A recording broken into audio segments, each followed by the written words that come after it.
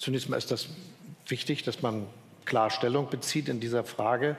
Und das ist ja auch etwas, das sich einreiht in viele, viele der Verbrechen, die wir in der Ukraine gesehen haben, die von russischen Soldaten ausgegangen sind.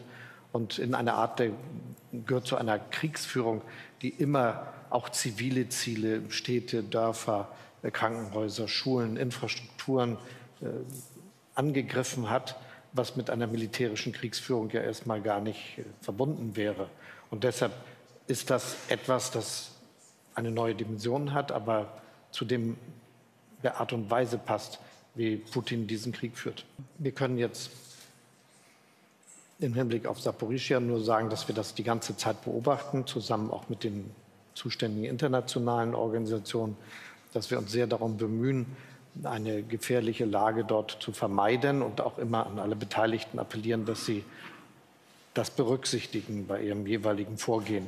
Es hat auch immer wieder Gelegenheiten gegeben, das anzusprechen, um dafür zu sorgen, dass dort jetzt nicht gegen das äh, Kraftwerk vorgegangen wird, aber auch keine äh, schwierige Lage wegen der Zerstörung von Notaggregaten und anderen entsteht. Das bleibt aber etwas, was wir mit Sorgfalt und mit Sorge betrachten.